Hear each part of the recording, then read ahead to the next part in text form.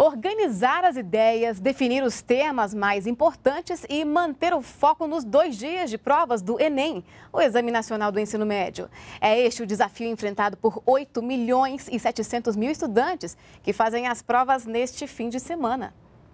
Tensão pré-prova. Essa é uma brincadeira comum entre professores e alunos, mas que tem um fundo de verdade. A ansiedade que se manifesta em muitos candidatos antes de um teste ou exame importante. E a menos de dois dias para o Enem, esse sentimento já dá sinais para alguns concorrentes.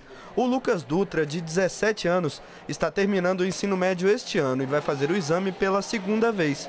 Ele quer cursar medicina e diz que durante a preparação priorizou questões que têm um peso maior para a área que pretende. No começo do ano, pegar os conteúdos dos três anos, né, revisar, o do terceiro ano aprender, e aí já no, nos últimos meses fazer as provas do Enem para me preparar mesmo para o tipo de questão, para o tipo de prova. O Lucas acredita que se preparou bem e acha normal sentir um pouco de ansiedade até na hora da prova.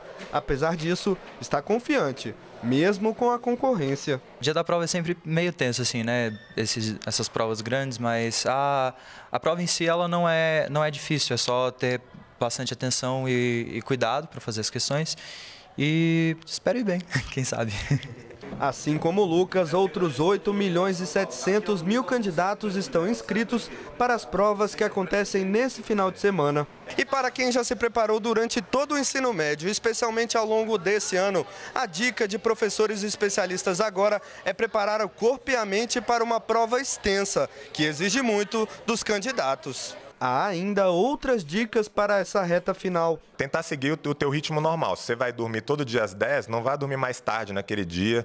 Né? Tentar seguir o teu ritmo normal de o teu período de sono normal para que você esteja em condições ideais de fazer a prova. Né? Quanto à alimentação, acho que é a mesma coisa, não comer né, comidas muito pesadas, especialmente no dia da prova, como a prova é de tarde, você não almoçar algo que vai te deixar cansado na, na hora da prova. Vale quase tudo para ter um bom desempenho nesse final de semana e alcançar o objetivo pretendido. O José Moreira Kifuri, de 20 anos, conseguiu uma boa pontuação no Enem do ano passado e foi aprovado para medicina na Universidade de Brasília por meio do Sistema de Seleção Unificada da Educação Superior, o SISU. Para ele, o segredo é a disciplina. O mais importante é regularidade, né? Isso eu acho que não tem dúvidas e é importante que você tenha montado o seu esquema de estudo no decorrer do ano todo.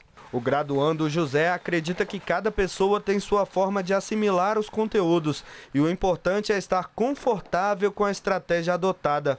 Para ele, as horas de estudo foram recompensadas. É a melhor coisa do mundo quando você vê teu nome lá, o teu resultado lá, é a melhor coisa que tem.